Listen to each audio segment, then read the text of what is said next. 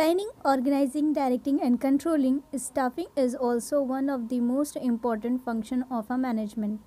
Hello everyone, welcome to the Riva classes. In this video, we are going to read about staffing and their process. So let's get started. जब हमारी company में कोई job available होती है कोई position vacant होती है तो उसको फिल करने के लिए जो स्टेप्स जो प्रोसेस हम फॉलो करते हैं, वही हमारा स्टाफिंग कहलाता है। स्टाफिंग ये जो वर्ड है, ये स्टाफ से आया है। स्टाफ यानी एम्प्लॉयज़ जो हमारी कंपनी में वर्क कर रहे हैं, जो ह्यूमन रिसोर्स है। अब जब तक एक सूटेबल ह्यूमन रिसोर्स हमारे ऑर्गेनाइजेशन में अवेलेबल नहीं होगा, आपकी कंपनी सक्सेसफुली रन नहीं कर सकेगी। और you can say finding the right person for the right job, having the right qualification, and doing the right job at right time. एक सही इंसान को फाइंड आउट करना, एक किसी सही पर्टिकुलर जॉब के लिए, और ये कैसे पता चलेगा? ये हम उसकी क्वालिफ़िकेशन जब चेक करेंगे, उससे हमें पता चलेगा। और वो उस राइट जॉब को राइट टाइम पे परफॉर्म कर रहा है, इसी पूरे स्टेप्स को, इसी पूरे प्रोसेस को हम स्टाफिंग कहते हैं।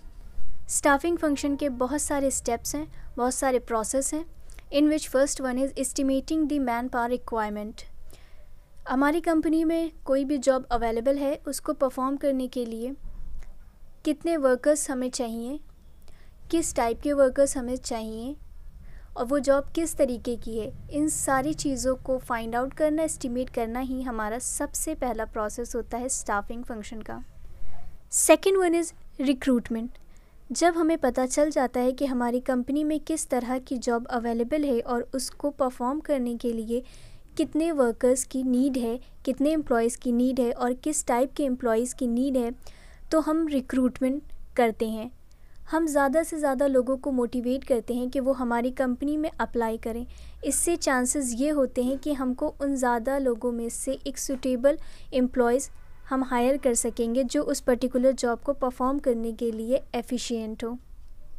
नेक्स्ट वन इज़ सिलेक्शन जब हम रिक्रूटमेंट प्रोसेस पूरा कर लेते हैं, बहुत सारे लोग हमारी कंपनी के लिए, हमारी कंपनी के जॉब के लिए अप्लाई करते हैं, फिर हम उन लोगों का सिलेक्शन टेस्ट लेते हैं, जिसमें aptitude test interviews medical checkups ये सब करने के बाद जो एम्प्लॉयज़ हमको सूटेबल लगते हैं पर्टिकुलर जॉब के लिए, हम उनको सेलेक्ट करके अपनी कंपनी में अपॉइंट कर लेते हैं।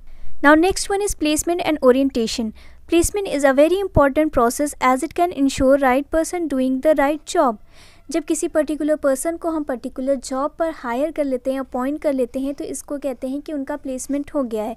बट अब सिर्फ़ प्लेसमेंट ही काफ़ी नहीं है। जब फ़र्स्ट डे न्यू एम्प्लॉयज़ जब अपनी कंपनी में जाते हैं तो वहाँ पे कंपनी एक छोटा सा कोई प्रोग्राम या मीटिंग रखती है, जिसमें वो अपने नए एम्प्लॉयज़ को पुराने एम्प्लॉयज़ के साथ इंट्रोड्यूस करवाती है, ताकि वो आपस में कंफर्टेबल हो सकें, एक दूसरे को जान सकें।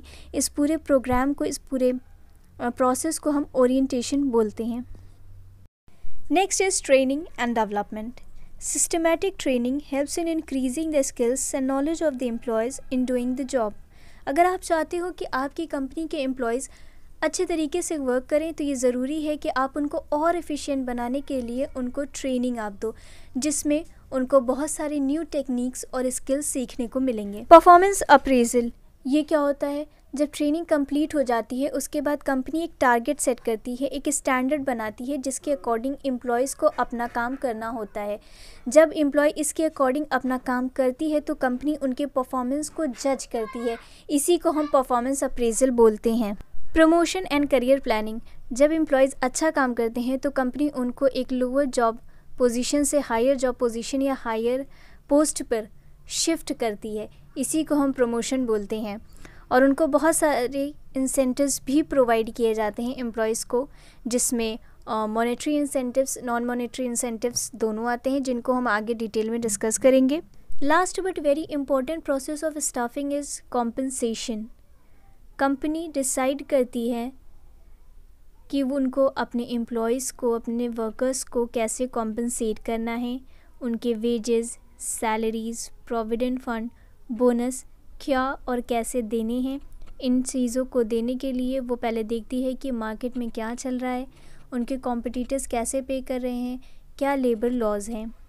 सो so, इस वीडियो में हमने स्टाफिंग क्या है उनके क्या प्रोसेस है इसके बारे में हमने डिस्कस किया है। नेक्स्ट वीडियो में हम इन प्रोसेस को डिटेल में डिस्कस करेंगे। Till then stay happy stay safe and don't forget to like share and subscribe the River Classes thank you